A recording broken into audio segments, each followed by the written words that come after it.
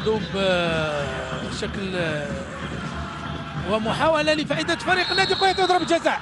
ضربة جزاء لفائدة فريق النادي الخنيطري.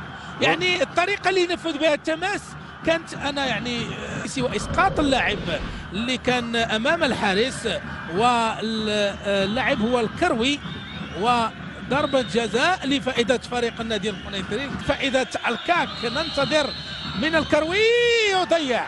يضيع الكروي ضربة جزاء لفائدة فريق النادي القنيطري. كانت الفرصة مواتية للكاك من أجل آه، تحقيق الهدف الأول لكن الكروي يضيع.